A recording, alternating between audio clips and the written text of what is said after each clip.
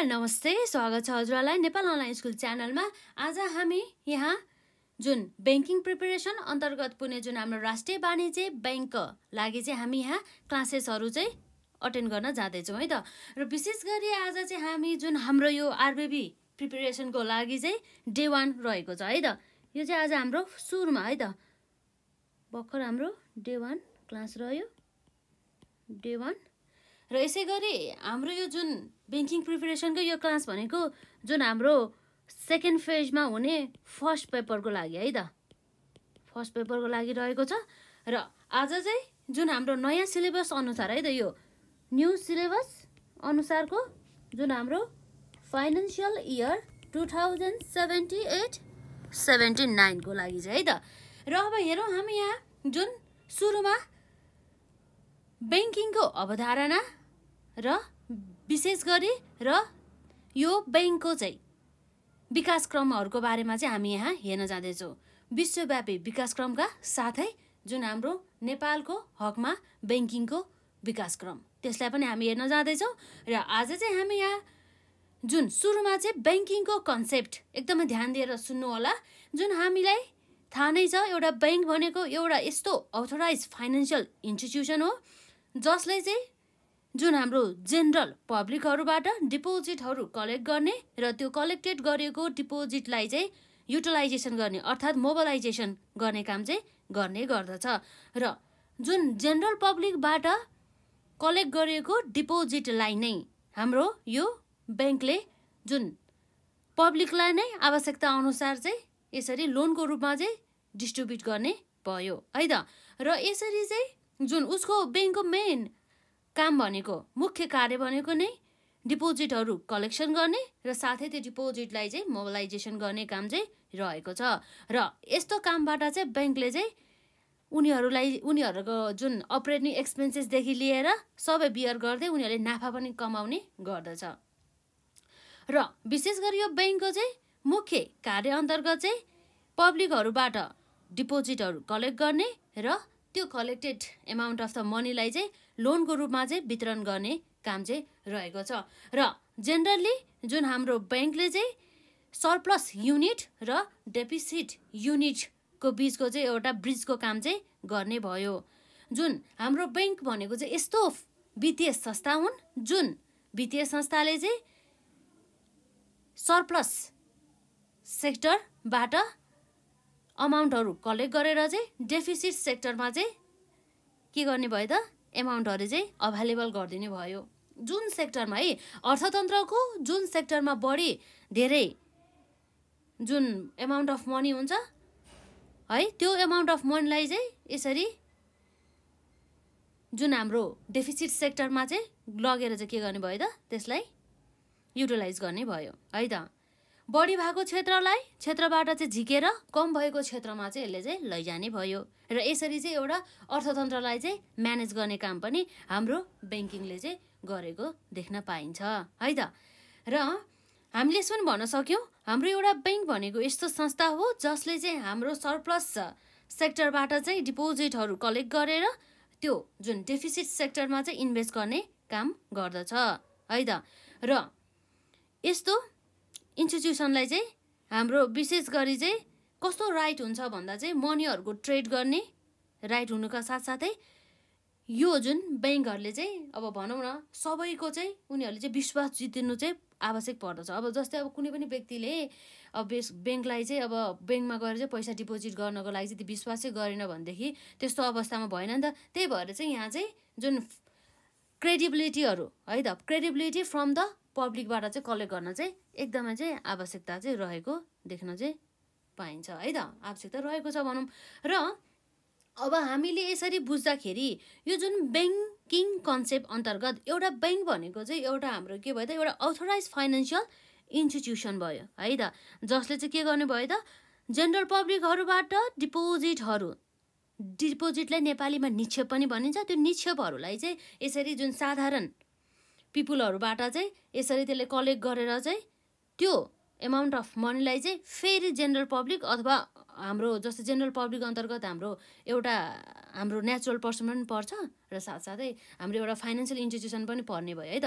Financial इन्स्टिट्युसनहरूलाई पनि loan आवश्यकता अनुसार चाहिँ वितरण गर्ने काम गर्दछ र यो लोन दिएको बापत चाहिँ हाम्रो ब्याङ्कले चाहिँ यसरी एज अ सर्भिस चार्जको रूपमा इन्ट्रेस्टहरू चाहिँ चार्ज गर्ने गर्दछ है त? र मेन यो ब्याङ्कको चाहिँ इन्कम सोर्स भनेको पनि इन्ट्रेस्ट इन्कम चाहिँ हुने गर्दछ है त?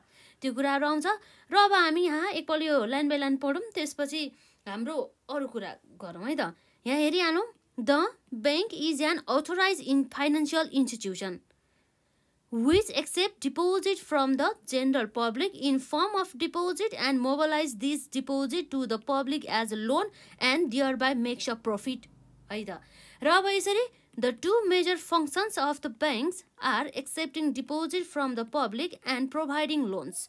Generally, a bank work as a bridge between the surplus unit that is depositors and deficit unit that is borrowers र हाम्रो मेन गर यो चाहिँ एकदम ध्यान दिनु होला यो पोइन्टले हाइलाइट गर्नु होला र हाम्रो डिपोजिटरलाई हामीले के भन्छौँ त सरप्लस युनिट्स यो डिपोजिटरबाट चाहिँ हामीलाई निक्षेपहरू चाहिँ कलेक्सन गर्न सक्छौँ र डेफिसिट युनिट भने चाहिँ जसलाई चाहिँ amount of the money as a लोनको रूपमा चाहिँ आवश्यकता परिरहेको हुन्छ जसलाई हामीले बरोबर भन्छौँ है त?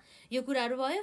र अब हामीले यसरी हेर्दाखेरि एउटा ब्याङ्क भनेको एउटा यस्तो वित्तीय संस्था हो जसले चाहिँ पैसा बढी भएको क्षेत्र जसलाई हामीले सरप्लस सेक्टर भन्छौँ हो त्यो सरप्लस सेक्टरबाट चाहिँ निक्षेपको रूपमा चाहिँ पैसाहरू सङ्कलन गरेर चाहिँ डेफिसिट सेक्टरमा चाहिँ लगानी गर्दछ। अर्थात् बरुवरहरूलाई चाहिँ प्रदान गर्ने भयो है त? यस्तो किसिमको संस्थालाई चाहिँ हामीले के भन्छौँ त? ब्याङ्क भन्छौँ जसले चाहिँ मुद्रासँग सम्बन्धित कारोबारहरू चाहिँ गरेको पाइन्छ। र अब यसै गरी अब हाम्रो अर्को हेरौँ जुन हाम्रो यो सरप्लस युनिट्स र डेफिसिट युनिटसँग सम्बन्धित रहेर चाहिँ ब्याङ्कको definition A bank is an institution which collects deposits from the surplus sector and invests in deficit sector. It is the kind of the institution that has the right to trade the money and everyone believes in it भन्ने कुरा रहेको छ र यसरी चाहिँ ब्याङ्कले चाहिँ ब्याङ्कलाई भनौँ न ब्याङ्कलाई चाहिँ यसरी चाहिँ जुन हाम्रो कस्टमरहरूले अथवा हाम्रो डिपोजिटरहरूले चाहिँ विश्वास गर्नु चाहिँ एकदमै आवश्यकता रहेको छ। विश्वसनीयता चाहिँ कायम गर्नु चाहिँ ब्याङ्कको चाहिँ मुख्य चाहिँ दायित्व चाहिँ रहेको छ। र जुन हाम्रो ब्याङ्क भन्ने शब्द चाहिँ हाम्रो इटालियन ओडबाट हुन त अब विभिन्न ओडहरूबाट चाहिँ हाम्रो ब्याङ्क भन्ने शब्दहरू चाहिँ हामीले आएको देख्न सक्छौँ है यो चाहिँ डिराइभ भएको देख्न सक्छौँ। र विशेष गरी मेन भनेको चाहिँ हाम्रो इटालियन शब्द। इटालियन शब्द ब्याङ्को भन्नेबाट डिराइभ भएको र साथसाथै हाम्रो ल्याटिन वर्ड ब्याङ्कोसबाट आएको र हाम्रो फ्रेन्च वर्ड ब्याङ्क्युबाट चाहिँ आएको चाहिँ हामीले देख्न सक्छौँ। र यो सबै अनुसार चाहिँ यो हाम्रो सबैको अर्थ चाहिँ के भयो त? भन्दा हाम्रो बेन्च अर्थात् बेन्चमा बसेर चाहिँ हाम्रो आर्थिक कारोबारहरू चाहिँ गर्ने मनीसँग सम्बन्धित आर्थिक कारोबार भनौँ न आर्थिक भन्ने बित्तिकै हाम्रो मनीको कुरा आइ नै हाल्छ। यो सबै ब्याङ्क्यु ब्याङ्कस र ब्याङ्को इटालियन ल्याटिन र फ्रेन्च इत्यादि स इत्यादि जुन हाम्रो उसहरूबाट चाहिँ आएको हामी देख्न सक्छौँ ती वर्डहरूबाट चाहिँ आएको देख्न सक्छौँ र त्यो सबैको अर्थ भनेको चाहिँ हाम्रो बेन्च हो। अर्थात् हाम्रो के भयो त भन्दाखेरि जुन हाम्रो बेन्चमा बसी मुद्रा सम्बन्ध मुद्रा सम्बन्धी कारोबार गर्नु भन्ने कुरा आयो है त? यो कुरा रहेको छ। अब विशेष यो कुराहरूलाई चाहिँ लेख्नुपर्छ है एक्जाममा हामीलाई सोधेको बेला। र अब यसरी हेर्दाखेरि जुन हाम्रो ब्याङ्क एन्ड फाइनेन्सियल इन्स्टिट्युसन जसलाई हामीले बिएफआइएच पनि भन्छ है त? बिएफआइएच भने मतलब हाम्रो bank and the financial institution र यो जुन हाम्रो जति पनि वित्तीय संस्थाहरू छन् ती संस्थाहरूलाई चाहिँ हाम्रो रेगुलेट गर्ने हाम्रो एक्ट भनेको चाहिँ bank and the financial institution act two thousand seventy three रहेको छ र जुन हाम्रो बाफिया पनि भनिन्छ है जसलाई सर्टकटमा bank and the financial institution act two thousand seventy three अनुसार चाहिँ हाम्रो ब्याङ्क भनेको चाहिँ के रहेछ हेरौँ है त। Bank means corporate body incorporated to carry on financial transaction as referred to in the subsection 1 of the section 49 हाम्रो चाहिँ जुन अब ब्याङ्क भन्ने बित्तिकै चाहिँ एउटा यस्तो कोर्पोरेट बडी हो जुन चाहिँ हाम्रो फाइनेन्सियल ट्रान्जेक्सनहरू गर्नको लागि चाहिँ स्थापना भएको हुन्छ। जुन फाइनेन्सियल ट्रान्जेक्सनलाई चाहिँ हाम्रो bank and the financial institution act two thousand seventy थ्रीको section forty नाइनको सब सेक्सन वानमा चाहिँ डिफाइन गरेको पाइन्छ। जुन हजुरहरूले यो बाफियाज एक्ट खोलेर यो सेक्सन फोर्टी नाइनको सब सेक्सन वानमा हेर्दाखेरि चाहिँ यो फाइनेन्सियल ट्रान्जेक्सनलाई चाहिँ कसरी डिफाइन गरेको रहेछ भनेर चाहिँ हजुरले थाहा पाउन सक्नुहुनेछ है त? यो अब यदि हजुरहरूलाई यो पुरै अब हुन्छ नि बाफिया एक्टहरू नै चाहिन्छ भनेदेखि चाहिँ कमेन्ट सेक्सनमा राख्नु होला त्यो एक्ट पनि हामी हजुरहरूलाई अनि अभाइलेबल गराउँछौँ गराउने नै छौँ र साथै यो एक्ट पनि हामीले अब पढ्नुपर्ने हुन्छ है त?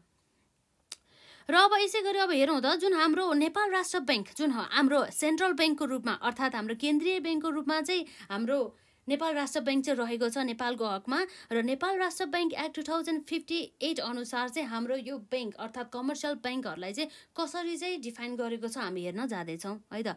According to Nepal Rastra Bank act two thousand fifty eight commercial bank means a commercial bank. Establish under the prevailing law जुन चाहिँ हाम्रो चाहिँ प्रचलित कानुन अनुसार चाहिँ स्थापना भएको कमर्सियल ब्याङ्कलाई नै हामी के भन्छौँ त कमर्सियल ब्याङ्क भनिन्छौँ भन्ने कुरा चाहिँ रहेको छ। हाम्रो विशेष गरी लगभग हाम्रो जुन कानुन हाम्रो यो एक्टहरूले चाहिँ डिफाइन गर्ने जुन परिभाषाहरू चाहिँ लगभग यस्तै प्रकारको हुन्छ। है त। यसरी नै हामी विशेष हामीले यसरी चाहिँ जुन हाम्रो यो दुईवटा कुरा चाहिँ यसरी ब्याङ्कको डेफिनेसन लेख्दाखेरि चाहिँ कहिले नछुटाउनु होला है त? बरु अरू राइटरहरूको डेफिनेसनहरू चाहिँ छुटाउँदा राम्रो भन्दा पनि अब सकभर लेखेको राम्रो अब छुटाउँदा चाहिँ फरक नपर्ने टाइपको। र कम्तीमा पनि हाम्रो यो दुईवटा चाहिँ bank and financial institution act two thousand seventy थ्रीले भनेको अनुसार र Nepal Rastra bank act two thousand fifty एटले भनेको अनुसार चाहिँ लेख्नुपर्ने हुन्छ। है त? र अब हेरिहालौँ अर्को छ हाम्रो यो यसै गरी हाम्रो राइटरहरूको धेरै विभिन्न प्रकारका परिभाषाहरू हामी देख्न सक्छौँ है त। Definition of the bank according to the S sir भन्नु सर जोन अनुसार चाहिँ हाम्रो के छ त? Bank is such a financial institution which collects money in current savings or fix deposit account collect cheques as a deposit and the pays money from the depositor account through cheque यति नै रहेको छ। त्यसै गरी अर्को हाम्रो definition रहेको छ यो चाहिँ हजुरहरूले नै पढ्नु होला। यसमा चाहिँ मैले चाहिँ भन्न जरुरी ठानेन है। र अब यसरी जहिले पनि एउटा कुरा चाहिँ के छ भन्दाखेरि चाहिँ हामीले यो अब जे भए पनि हामी यो अहिले आरबिबीको चाहिँ चारौँ र पाँचौँ लेभलको लागि हुने क्लासहरू चाहिँ हामी गर्दैछौँ। त्यसै कारणले गर्दाखेरि चाहिँ हामी चाहिँ एकदमै रेस्पोन्सिबल भएर चाहिँ काम गर्नुपर्ने हुन्छ। है ब्याङ्कको कर्मचारी भएपछि हामीले अब आफ्नो जुन विश्वसनीयतालाई कायम नै राख्नको लागि चाहिँ हामीले चाहिँ सबै कुराहरूलाई ध्यान दिनुपर्छ। र त्यसै कारणले गर्दाखेरि जुन हाम्रो यो फोर्थ एन्ड द फिफ्थ लेभलको क्लासेसहरू प्रिपेरेसन गर्दाखेरि चाहिँ एकदमै प्रोफेसनल्ली चाहिँ हामी अटेन्ड हुनुपर्ने हुन्छ। र जुन हाम्रो यो जहिले पनि एन्सर लेख्दाखेरि चाहिँ सबै कुरा लेखिसकेपछि लास्टमा चाहिँ कन्क्लुजन लेख्नको लागि चाहिँ कहिले पनि नछुटाउनु होला है त? अब हाम्रो कन्क्लुजनमा हाम्रो यो ब्याङ्क भन्ने बित्तिकै चाहिँ के रहेछ त भन्ने कुरा है त। कन्क्लुजन लेख्नु चाहिँ एकदमै आवश्यकता रहेको छ। हाम्रो कन्क्लुजन चाहिँ यहाँबाट रहेको छ है। यहाँ हेन्स छ नि हेन्स एकदमै ध्यान दिनु होला। यसमा चाहिँ अलिक स्पेसको कमी भएछ। त्यसै कारणले गर्दाखेरि है त। यो चाहिँ हाम्रो विशेष गरी चाहिँ यहाँबाट चाहिँ हाम्रो कन्क्लुजन भयो। अलवेज नेसेसरी है त। कन्क्लुजन निष्कर्ष भनिन्छ जसलाई नेपालीमा कन्क्लुजन चाहिँ आवश्यकता छ। कन्क्लुजन चाहिँ हरेक क्वेसनको चाहिँ एन्सर लेख्नु होला। यदि मैले कहिलेकाहीँ हजुरहरूलाई क्लास गराउँदै जाँदाखेरि चाहिँ कन्क्लुजन लेख्न बिर्सिए तापनि हजुरहरू आफूले पनि त्यो चाहिँ लेख्नुपर्ने हुन्छ है त? र अब हेरौँ अब ब्याङ्क भन्ने बित्तिकै के रहेछ? हेरौँ है त? Hence bank is a financial institution एउटा यस्तो वित्तीय संस्था हो which performs its core functions of accepting deposit and the dispersing loans as well as performs other functions like remittance, securities transaction, agencies, services, agencies services and the other financial transaction and the thereby make a profit भनेपछि अर्थात् यसको मतलब चाहिँ निष्कर्षमा चाहिँ हाम्रो एउटा bank भन्ने बित्तिकै चाहिँ एउटा यो एउटा हाम्रो आधिकारिक वित्तीय संस्था हुन्। यसमा चाहिँ सकभर हजुरले फाइनेन्सियल इन्स्टिट्युसन अन्तर्गत चाहिँ अथोराइज है त। अथोराइज वर्ड थप्नु होला हजुरले आधिकारिक ब्याङ्किङ फाइनेन्सियल भनौँ आधिकारिक वित्तीय संस्था जसको चाहिँ मेन कोर फङ्सन भनेको चाहिँ डिपोजिटहरूलाई एक्सेप्टिङ गर्नु र त्यसलाई चाहिँ जुन कलेक्टेड गरिएको डिपोजिटलाई चाहिँ लोनको रूपमा वितरण गर्नु रहेको छ र साथसाथै उसले अरू अन्य फङ्सनहरू पनि गर्नेछ लाइक कस्तो भन्दा चाहिँ रेमिट्यान्सको कुरा आउँछ यसमा। त्यसै गरी सेक्युरिटीसँग सम्बन्धित ट्रान्जेक्सनहरू कुरा आउँछ र साथै हाम्रो एजेन्सी सर्भिसेसहरूको कुरा आउँछ र अन्य हाम्रो वित्तीय सँग सम्बन्धित कारोबार वित्तीय कारोबारसँग सम्बन्धित अन्य कारोबारहरू पनि गर्ने भयो हार्यो। र यसरी चाहिँ यस्ता कार्यहरू यसको कोर फङ्सन र साथसाथै अन्य फङ्सन्सहरू गरेर चाहिँ ब्याङ्कले चाहिँ नाफा कमाउने गर्दछ भन्ने कुरा चाहिँ हाम्रो निष्कर्षमा चाहिँ आउनु पर्यो। र अब यसरी चाहिँ हाम्रो अब एउटा कुरा चाहिँ अब हामीले एउटा ओभरभ्यू भन्दाखेरि अब हाम्रो ब्याङ्क भन्ने बित्तिकै चाहिँ एउटा हाम्रो आधिकारिक एउटा फाइनेन्सियल अर्थात् वित्तीय संस्था हुन् जसले चाहिँ यसरी डिपोजिट यसको मेन कोर फङ्सन्स भनेको चाहिँ डिपोजिटहरू एक्सेप्ट गर्नु चाहिँ रहेको देख्न सकिन्छौँ। र जुन यो ब्याङ्क भन्ने ओड चाहिँ विशेष गरी हाम्रो इटालियन ओड ब्याङ्को भन्नेबाट र ल्याटिन ओड ब्याङ्कस र साथसाथै हाम्रो फ्रेन्च ओड ब्याङ्कस ब्याङ्क्यु भनौँ ब्याङ्क्यु ब्याङ्क्युबाट आएको छ र विशेष गरी अन्य ओडहरूबाट पनि हाम्रो ब्याङ्कको चाहिँ जुन ओड चाहिँ आएको देख्न सक्छौँ है। र जसको अर्थ चाहिँ मेन भनेको चाहिँ बेन्चमा बसेर आर्थिक कारोबार अर्थात् मनीसँग सम्बन्धित कारोबारहरू गर्ने भन्ने कुरा चाहिँ यहाँ चाहिँ आउने गर्दछ। र जुन हाम्रो bank and the financial institution act two thousand seventy थ्रीले पनि हाम्रो ब्याङ्कलाई चाहिँ एउटा कोर्पोरेट बडी भनेर चाहिँ यसरी डिफाइन गरेको छ। जुन कोर्पोरेट बडीले चाहिँ वित्तीय कारोबार अर्थात् फाइनेन्सियल ट्रान्जेक्सनहरू चाहिँ गर्नको लागि चाहिँ स्थापना भएको छ। र जुन फाइनेन्सियल ट्रान्जेक्सनलाई चाहिँ bank and the financial institution act two thousand seventy थ्रीको चाहिँ सेक्सन फोर्टी नाइनको सब सेक्सन वानमा चाहिँ डिफाइन गरेको पाइन्छ। र साथै हाम्रो Nepal Rastra bank act two thousand fifty eight अर्थात् हाम्रो एनआरबी एक्ट अनुसार पनि हाम्रो यो कमर्सियल ब्याङ्कलाई चाहिँ डिफाइन गरेको पाइन्छ। जस अनुसार चाहिँ हाम्रो कमर्सियल ब्याङ्क भन्ने बित्तिकै चाहिँ यस्तो ब्याङ्कहरू हुन् यस्ता कमर्सियल ब्याङ्कहरू हुन् जुन हाम्रो प्रचलित कानुन अनुसार चाहिँ स्थापना भएको हुन्छ भन्ने कुरा चाहिँ यहाँ रहेको छ है त? र अब हामीले जुन ब्याङ्कको कन्सेप्टहरू गरिसकेपछि जहिले पनि कन्क्लुजन लेख्न चाहिँ नबिर्सिनु होला एकदम इम्पोर्टेन्ट पार्ट रहेको छ। र अब एउटा कुरा हजुरहरूलाई मैले फेरि भनिदिएँ हाम्रो चाहिँ जम्मा चाहिँ प्रत्येक जुन हाम्रो जम्मा कदेखि ngसम्म भने चाहिँ हाम्रो के भयो? एदेखि ईसम्म? एदेखि ईसम्म चाहिँ हुने गर्दछ। जुन यदि जुन हाम्रो समूहहरू भनौँ यसलाई group A group B group C group D group E अथवा समूह क ख ग घ ङ गरेर यसरी चाहिँ हाम्रो जम्मा पाँचवटा हुन्छ र प्रत्येक जुन हाम्रो प्रत्येक ग्रुपहरूबाट अर्थात् प्रत्येक समूहहरूबाट चाहिँ हाम्रो दुई दुईवटा क्वेसन गरेर चाहिँ जम्मा दसवटा क्वेसन आउँछ है त? र भने चाहिँ हाम्रो बिसवटा क्वेसन सोध्ने रहेछ होइन? बिसवटा क्वेसन सोध्ने हो र हाम्रो भनेपछि जोस् प्रत्येक उसबाट चाहिँ हाम्रो जस्तै दसवटा चाहिँ क्वेसन चाहिँ सोध्ने भयो दस मल्टिप्लाई बाई दस हुन्छ नि त। सय मार्क्स हो नि त हाम्रो। दुई दुईवटा त होइन प्रत्येकबाट यसरी यसो मिलाएर सोधिन्छ उसमा चाहिँ। अब यो प्रथम पत्रमा त्यसपछि अब से फे जुन हाम्रो सेकेन्ड पेपरमा पनि हाम्रो सोधिने भइहाल्यो सोधिने भइहाल्यो। र र यसरी चाहिँ अब हाम्रो विशेष गरी दस इन्टु दस गरेर जम्मा सय मार्क्सको क्वेसन आउँछ है। र अब जस अन्तर्गत चाहिँ अब हामीले चाहिँ टेन मार्क्सका क्वेसनहरू आउँछ है सबै र हामीलाई अप्सन पनि हुँदैन। जस्तै अब क्वेसनहरूमा हामीले ब्याचलरसम्म त अब यो जस्तै पाँचवटा गर्ने छवटा दिएको हुन्छ छवटा मात्रै एनी फाइभ मात्रै गर्ने भन्ने जस्तो हुन्छ तर यसरी हाम्रो यसमा चाहिँ चोइसहरू चाहिँ हुँदैन। र अब हामी चाहिँ अब यहाँ हेर्न जाँदैछौँ यो जुन ब्याङ्कको चाहिँ global development of the bank अर्थात् हाम्रो हिस्ट्री अफ द ब्याङ्क भनेर चाहिँ अब हामीले बुझ्न सक्छौँ। अर्थात् हाम्रो विश्वव्यापी ब्याङ्किङ विकास। हरूको बारेमा चाहिँ हामी यहाँ कुरा गर्न जाँदैछौँ।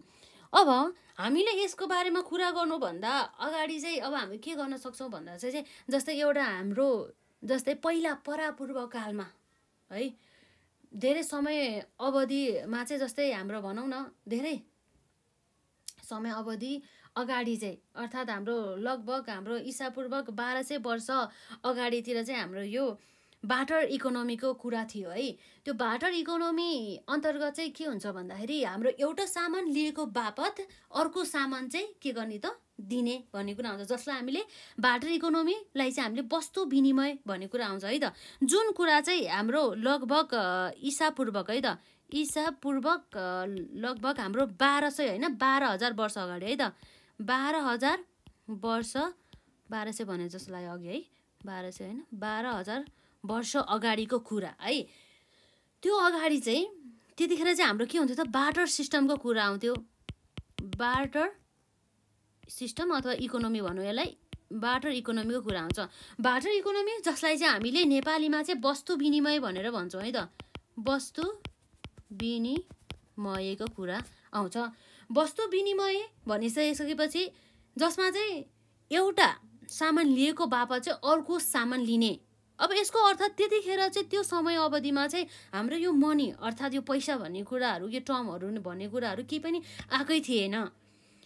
एउटा सामान लिएको बापत त्यसको सट्टामा चाहिँ यसरी चाहिँ अर्को सामान दिने अर्थात् मनी के अरे मनीहरूको एक्सचेन्ज नभएर चाहिँ हाम्रो भनौँ न मनीबाट गुड्समा एक्सचेन्ज नभएर चाहिँ अथवा गुड्सबाट मनीमा एक्सचेन्ज नभएर चाहिँ यसमा चाहिँ गुड्स टु गुड्स एक्सचेन्ज हुने है त?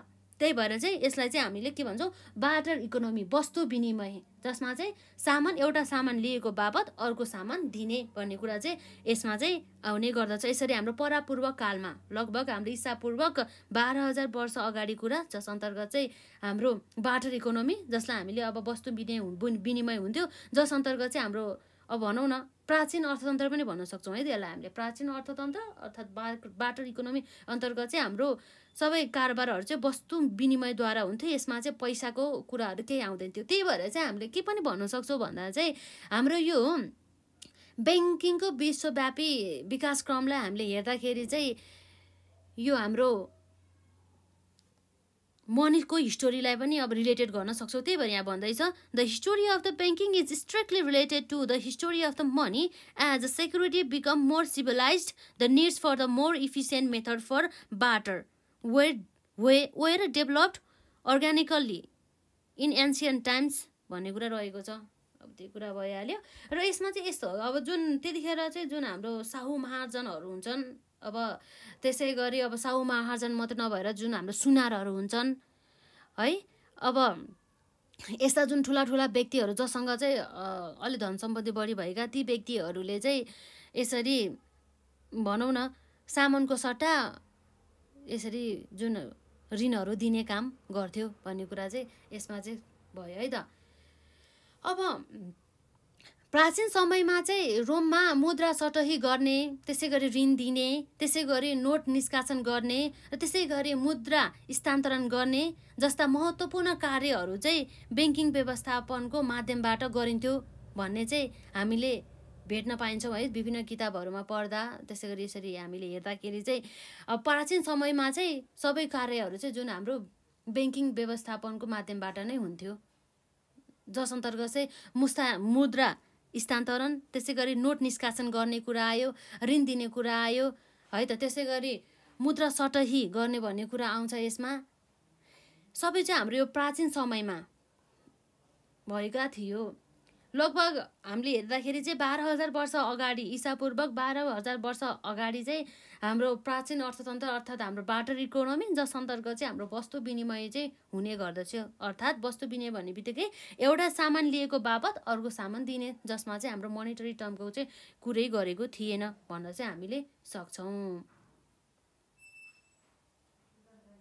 र अब त्यसपछि अब विशेष गरी चाहिँ हाम्रो एकदमै इम्पोर्टेन्ट जुन पोइन्ट भनेको चाहिँ बाह्रौँ शताब्दीको मध्येबाट पश्चात है। त्यसपछि चाहिँ बाह्रौँ शताब्दीको चाहिँ जुन बिच बिचबिच भाग हुन्छ हो त्यस पश्चात चाहिँ हाम्रो ऋण ऋणहरू प्रदान गर्ने तथा बहुमूल्य धातुहरूको सुरक्षाहरूको रूपमा चाहिँ राखिदिने जस्ता कार्यहरूको क्रमसँगै विश्वमा चाहिँ ब्याङ्किङ प्रथाको खास विकास सुरु भएको चाहिँ हामीले देख्न सकिन्छौँ भन्ने कुरा चाहिँ हाम्रो यहाँ रहेको छ है त? भनेपछि अब यसरी हेर्दाखेरि हामीले यहाँ के हेर्न सक्छौँ भन्दा यो पोइन्टहरूलाई पनि हामी हेर्दै जाउँ। The history of the banking is strictly related to the history of the money as a security became more civilize the need for the more efficient method for barter were develop organically in ancient times merchants money lenders and the goldsmith played the role of the banking sector by providing the protection of the precious metals and the lending activities भन्ने कुरा रहेको छ। यो सबै कुरा भनिहाल्यो।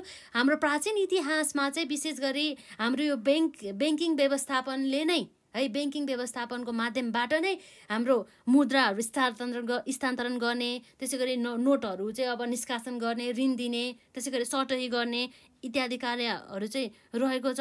त्यसै गरी similarly study so that there were banks in the ancient history of the हाम्रो इजिप्ट र अब जस्तै गरी अब यसमाहरू चाहिँ रहिहाल्यो होइन। र अब विशेष गरी अब हामीले बाह्रौँ शताब्दीको पनि कुरा गरिसकेका छौँ जस अन्तर्गत चाहिँ हाम्रो जुन ऋण दिने कामहरू देखि लिएर हाम्रो बहुमूल्य धातुहरू चाहिँ सुरक्षाको रूपमा चाहिँ राखिदिने कार्यहरू चाहिँ हाम्रो रहेको छ। ब्याङ्किङ ब्याङ्कमा गएर चाहिँ यसरी चाहिँ हाम्रो बहुमूल्य धातुहरूलाई चाहिँ सुरक्षाको प्रदान सुरक्षाको लागि चाहिँ राख्ने ऋण दिने कार्यहरू चाहिँ हाम्रो बाह्रौँ शताब्दीको चाहिँ मध्यम भागबाट चाहिँ हाम्रो भएको चाहिँ हामीले देख्न सक्छौँ। यो सबै काम चाहिँ हाम्रो प्राचीन समयमा चाहिँ रोममा भएको थियो है त?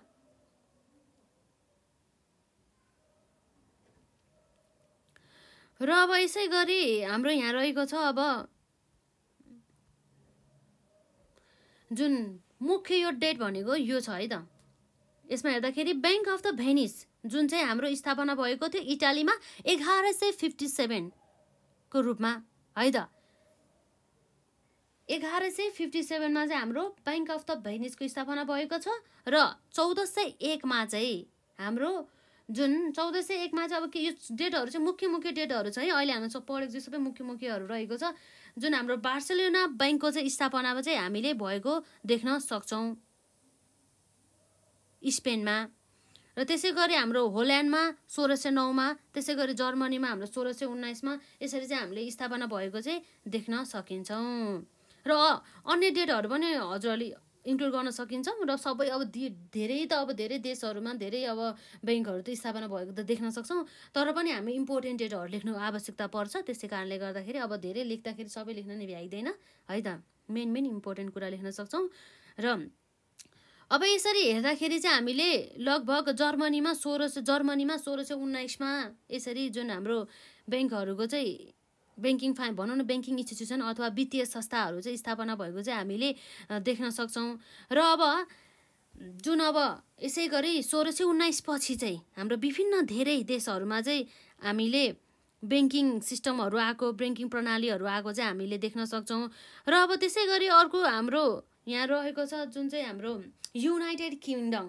Bank of United Kingdom चाहिँ सन् उन्नाइस सय चौरानब्बेमा चाहिँ पहिलो आधुनिक ब्याङ्कको रूपमा चाहिँ स्थापना रहेको छ जसलाई हामीले फर्स्ट मोडर्न ब्याङ्क पनि भन्न सक्छौँ। हाम्रो यसरी यहीँ पोइन्टहरू रहेको छ यसरी हेर्नु होला यसमा। र विशेष गरी चाहिँ यसरी चाहिँ हाम्रो जुन फर्स्ट मोडर्न ब्याङ्कको चाहिँ उन्नाइस सय चौरानब्बेमा चाहिँ स्थापना भएको चाहिँ हामीले देख्न सक्छौँ र अब बिस्तारै बिस्तारै गएर चाहिँ जुन हाम्रो एटिन्थ देखि लिएर नाइन्टिन सेन्चुरिजहरूमा चाहिँ जुन हाम्रो अमेरिकन महादेशदेखि लिएर युरोपियन महादेशहरूमा चाहिँ धेरै मात्रामा चाहिँ ब्याङ्कहरूको चाहिँ स्थापना भएको चाहिँ हामीले देख्न सक्छौँ र यसरी प्राचीन कालदेखि लिएर अहिले रिसेन्ट कन्डिसन हेर्दाखेरि चाहिँ हाम्रो ब्याङ्क चाहिँ के भयो भन्दाखेरि चाहिँ पुरै लगभग अब चाहिँ सबै सम्पूर्ण देशहरूको चाहिँ प्रत्येक ठाउँहरूमा चाहिँ ब्रान्चेसको रूपमा अथवा हेड अफिसहरूको रूपमा चाहिँ ब्याङ्कहरूको चाहिँ स्थापना भएको देख्न सक्छौँ। अहिले हेर्दाखेरि अहिले हाम्रो यो ट्वेन्टी फर्स्ट सेन्चुरीमा हेर्दाखेरि हाम्रो ब्याङ्कहरू चाहिँ लगभग प्रत्येक सिटीहरूमा चाहिँ अभाइलेबल भएको चाहिँ हामीले देख्न सक्छौँ। Not only in the country हाम्रो प्रत्येक सिटीहरू कन्ट्रीको पनि प्रत्येक सिटीहरूमा चाहिँ हामीले यसरी ब्याङ्कहरू चाहिँ अभाइलेबल भएको चाहिँ हामीले देख्न सक्छौँ। र साथै यो ब्याङ्कहरूले चाहिँ ट्रेडिसनल सर्भिसेसहरू मात्र न नदिएर चाहिँ नयाँ नयाँ प्रविधिहरूको विकास भएर चाहिँ नयाँ नयाँ कन्सेप्टहरूको अथवा नयाँ नयाँ अवधारणाहरूको विकास भएर चाहिँ ब्याङ्कको चाहिँ अब एउटा हाम्रो ब्याङ्क चाहिँ पहिलाको स्टेजबाट चाहिँ अहिले धेरै स्टेज पार गरेर चाहिँ एकदमै डेभलप्ड अनि अवस्थामा चाहिँ आएको चाहिँ हामीले देख्न सक्छौँ। एउटा एडभान्स सेक्टरसम्म है त? र अब हेर्दाखेरि अब हाम्रो अब जहिले पनि कन्क्लुजन लेख्नुपर्छ भन्ने कुरा आएको छ। यो अब यसरी कन्क्लुजन हेर्दाखेरि हाम्रो के भयो त? यसरी कन्क्लुजन हेर्दाखेरि हाम्रो यो एउटा ब्याङ्क भनेको सुरुमा हामीले लेख्न यसरी लेख्न सक्छौँ है। पहिला पहिला पहिला चाहिँ हामी बाटर सिस्टमदेखि लिएर जस्तै पहिला अब एउटा बेन्चमा बसेर अनि कारोबार गर्थ्यौँ एउटा आर्थिक कारोबार गर्नेदेखि लिएर चाहिँ अहिले चाहिँ अब घरमै बसी बसी जस्तै मोबाइल ब्याङ्किङको द्वारा अथवा इन्टरनेट ब्याङ्किङको द्वारा अथवा अन्य अनि अनलाइन माध्यमको द्वारा चाहिँ अनि ब्याङ्कसँग सम्बन्धित अथवा जुन ब्याङ्कसँग सम्बन्धित रहेर चाहिँ भनौँ न हाम्रो ब्याङ्कसँग सम्बन्धित भन्दा पनि हाम्रो आर्थिक कारोबारसँग सम्बन्धित रहे चाहिँ ब्याङ्कमा चाहिँ कारोबारहरू चाहिँ गर्ने भयो।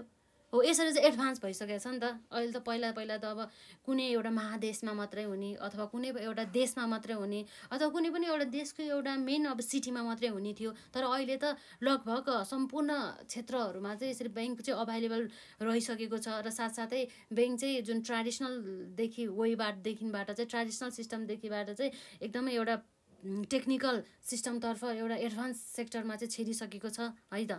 त्यो कुरा रहेको छ। यहाँ हाम्रो त्यही कुरा गरेको छ है त दस। From the ancient economics that emerge with the human civilization to the present day the latest concept like brick banking to the click banking twenty four by seven यो to twenty four by seven भन्ने मतलब चाहिँ सातौँ हप्ता। हप्ताको हप्ता एक हप्तामा सात दिन भयो। सातै दिनमा चाहिँ चौबिसै घन्टा ब्याङ्किङ सुविधा त्यो कुरा हामीलाई थाहा नै छ। अब हामीले अब डिजिटल ब्याङ्किङको कुरा आउँछ जस्तै हाम्रो ब्याङ्क भन्ने कुरा चाहिँ एनी टाइम एनिवेयर भन्ने कुरा आएछ जस्तै ब्याङ्किङ युनिभर्सल ब्याङ्किङ अवधारणाको कुरा आइसक्यो है त? यो चाहिँ सबै हाम्रो चाहिँ यो ब्याङ्कको चाहिँ विश्वव्यापी विकासक्रमको बारेमा चाहिँ हामीले पढ्यौँ। एकदमै इम्पोर्टेन्ट रहेको छ। एक्जाममा सोधिहाल्यो भनेदेखि हामीले यसरी कन्क्लुजन पनि लेख्न चाहिँ आवश्यकता रहेको छ। अब एकपल्ट हामीले यसरी रिभिजन गर्दाखेरि चाहिँ अब हाम्रो जुन हिस्टोरी अफ द ब्याङ्क है त ब्याङ्कको हिस्टोरीको कुरा गर्नुपर्दा चाहिँ हाम्रो के हुन्छ त भन्दा जुन हाम्रो प्राचीन समयमा चाहिँ एउटा यो व्यापारीदेखि लिएर साहु महाजनहरूले त्यसै गरी यो ऋणदाताहरूले त्यसै गरी सुनारहरूले चाहिँ बहुमूल्य धातुहरू चाहिँ संरक्षण प्रदान गर्नेदेखि लिएर ऋणहरू दिने कार्यहरू चाहिँ गर्ने गरिन्थ्यो। र यसरी चाहिँ जुन हाम्रो यसरी साहु महाजनहरूले चाहिँ अथवा यसरी ऋणदाताहरूले अथवा जुन हाम्रो सुनारहरूले चाहिँ विशेष गरी चाहिँ ब्याङ्कसँग सम्बन्धित जुन भूमिकाहरू चाहिँ निर्वाह गरेको चाहिँ हामीले पाइरहेको देखिन्थ्यौँ। है त? र पछि गएर चाहिँ जुन हाम्रो ब्याङ्कको पनि अब स्थापना पनि भएर गयो हाम्रो सुरुमा चाहिँ जुन ब्याङ्क भनेको पहिलो है पहिलो ब्याङ्कको रूपमा। ब्याङ्कको चाहिँ अब ठुलो ब्याङ्कमा को रूपमा चाहिँ यसरी चाहिँ हामीले यहाँ देख्न सक्छौँ। ब्याङ्क अफ भेनिस जुन चाहिँ इटालीमा चाहिँ एघार सय फिफ्टी सेभेनमा चाहिँ स्थापना भएको थियो। र अब त्यसै गरी हाम्रो युकेमा चाहिँ जुन युनाइटेड किङडम किङडममा चाहिँ ब्याङ्क अफ युके पनि भनिन्छ जसलाई त्यो चाहिँ सोह्र सय चौरानब्बेमा चाहिँ स्थापना भएको थियो जसलाई चाहिँ हामीले फर्स्ट मोडर्न ब्याङ्क भनेर चाहिँ चिनिन्थ्यौँ। यस्तो इम्पोर्टेन्ट डेटहरूलाई चाहिँ याद गर्नुपर्ने हुन्छ। र हजुरहरूलाई चाहिँ त्यो यो ब्याङ्किङ कन्सेप्टसँग सम्बन्धित र यो जुन ओल्डको जुन हिस्ट्री छ ब्याङ्कको र साथै नेपालसँग सम्बन्धित जुन ब्याङ्कको चाहिँ हिस्ट्रीहरूलाई चाहिँ हजुरहरूलाई चाहिँ त्यो एउटा जस्तै अब मुख्य मुख्य डेटहरू चाहिँ कुन कुन याद गर्ने के गर्ने भन्ने कुराहरू चाहिँ हामी अभाइलेबल गराउने नै छौँ है त। र यसरी अब आज चाहिँ हामी जुन नेपालको कन्टेक्स्टमा हुने जुन ब्याङ्किङको विकासक्रमलाई चाहिँ आज हामी पढ्दैनौँ जस्ट आज हामी कभर गर्ने भनेको ब्याङ्किङ कन्सेप्ट र डेभलपमेन्ट अर्थात् हिस्टोरी अफ द ब्याङ्किङ कुरा आयो। यसलाई हामीले कभर गरिसकेका छौँ वान पोइन्ट वान र वान पोइन्ट टूलाई। र पछि गएर चाहिँ हामी अब नेक्स्ट क्लासमा चाहिँ जुन हाम्रो नेपालको हकमा चाहिँ ब्याङ्कको चाहिँ विकासक्रमको बारेमा पढ्छौँ। एकदमै राम्रोसँग पढ्नुपर्छ है खासै केही पनि गाह्रो छैन। र जहिले पनि अब लेख्दाखेरि अब हामीले प्रोफेसनली वेबाट लेख्नुपर्छ एकदमै प्रोफेसनल वर्डहरू हाल्नुपर्छ प्रेजेन्टेसन राम्रो हुन्छ भनेर आफूले प्रेसर पनि दिनु भएन। हामीले प्र्याक्टिस गर्नु पऱ्यो मजाले पढ्नु पऱ्यो र मेन मेन डेटहरूलाई र मुख्य मुख्य बुदाहरूलाई चाहिँ हामीले प्रेजेन्ट गर्न सक्नु पऱ्यो त्यसपछि त हाम्रो अब नाम त लेखि निस्किनै हाल्छ है त? आफूले पनि मिहिनेत गर्नुपर्छ। र यसरी चाहिँ जुन हाम्रो आरबिबी प्रिपेरेसन अर्थात् हाम्रो राष्ट्रिय वाणिज्य प्रिपेरेसन जुन हाम्रो fourth and the fifth level दुवैको लागि हुने फर्स्ट पेपरको चाहिँ समूह कको चाहिँ डे वान क्लास चाहिँ आज हाम्रो यति नै रहेको छ। नेक्स्ट क्लासमा चाहिँ हामी पढ्ने नै छौँ है त? अन्य बाँकी कन्सेप्टहरू धेरै नै रहेको छ। यो सबै हाम्रो two thousand seventy eight seventy नाइनको new syllabus अनुसार चाहिँ हामी पढ्ने नै छौँ पढिरहेछौँ भनौँ है? ल आजलाई यति नै गरौँ।